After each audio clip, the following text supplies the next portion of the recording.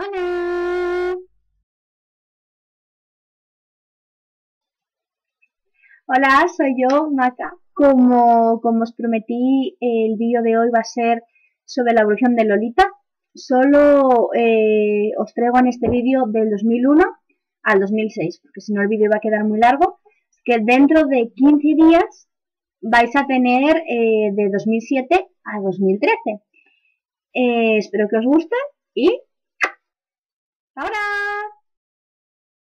Las marcas que salen este año en las revistas son Moime Moitié, H. Naoto, Innocent World, Metamorphose Temps de Phil, Victoria Maiden, Black Peace Now, Baby Station Bright, Alice Awa, NA Plus H, Angeli Pretty, Putumayo y Atelier Pierrot.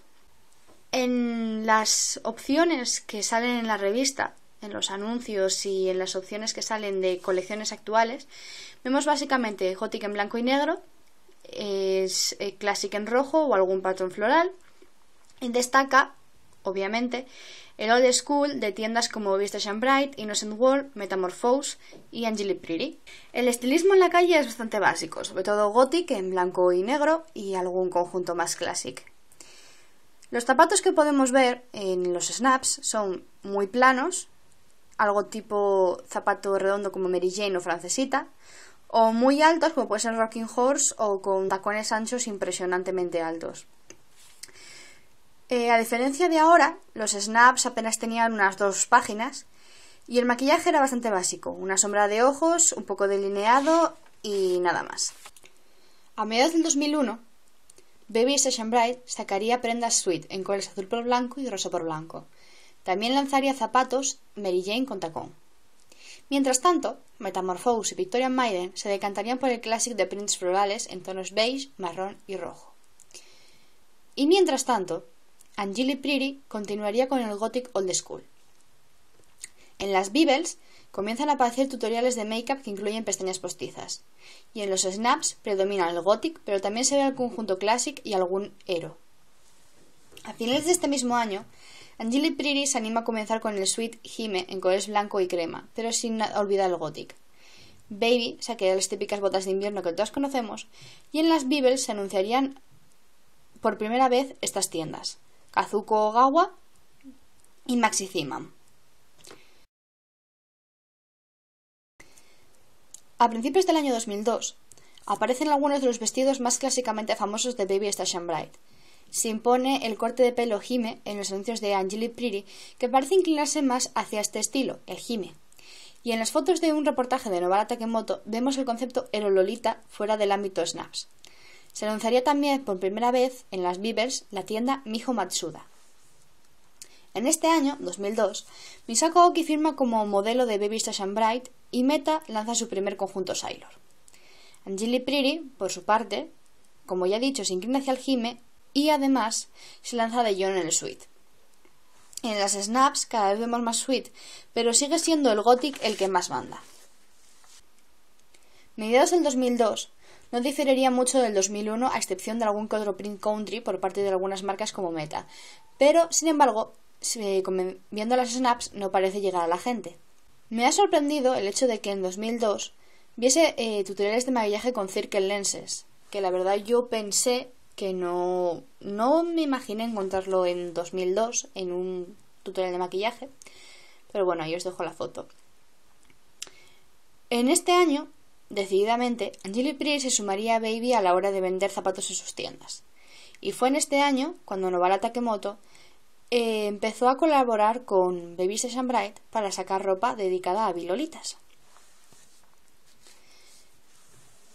Llegarían las influencias de la moda lolita a Londres y sería recogido en un artículo especial de la Bibel, aunque en este artículo no sería muy extenso, iría enfocado más al gothic y al ciber. En este año también la Bibel sacaría varios artículos para lolitizar las habitaciones.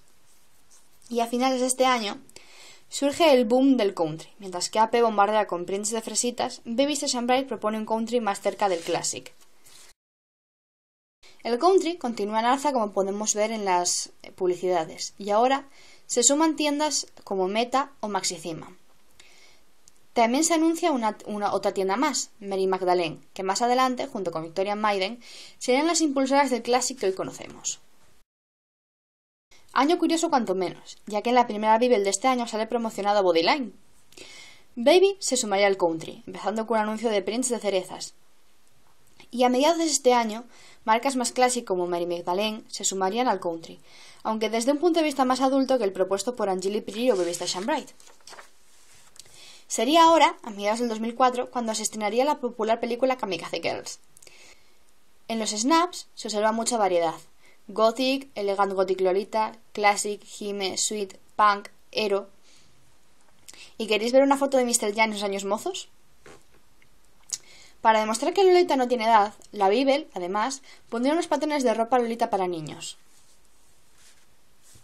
A finales de este año, es decir, para invierno, las marcas decidirían volver al Classic y al Old School. Además, se anunciarían nuevas marcas: Eccentric, A Lidl, Choco Chip Cookie, Shotgun Wedding y Fairy Wish. A finales del 2004, los snaps comenzarían a ser más amplios, demostrando así que Kamikaze Girls muy probablemente contribuyó en gran medida a la expansión de Lolita. Año 2005. El Old School aún continúa en alza en este año, como podemos ver en los snaps, pese a que las marcas Sweet bombardean con publicidad country. En este año, Baby sacaría a la luz su filial Alice and the Pirates, con este primer conjunto. También saldrían nuevas tiendas anunciadas, Marvel y Sorrow Berry.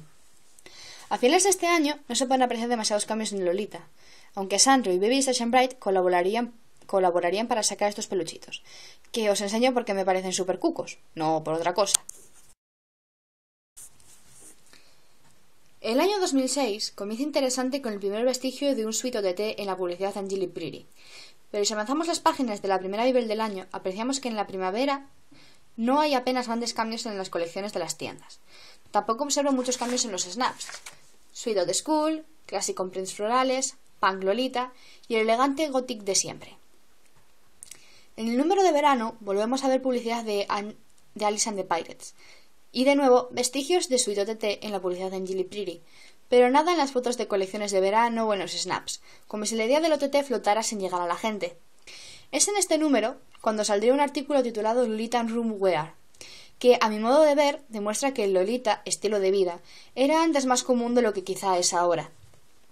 El número de otoño no dista mucho del anterior, a excepción del anuncio de Pure Lolita Collection, la tan famosa colaboración entre Baby Session Bright y Nobara Takemoto.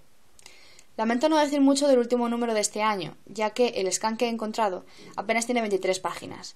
Pero os dejo, sin embargo, esta publicidad en Gilly Pretty, que sería el preludio al 2007, el año en el que comenzaría el sitio de té.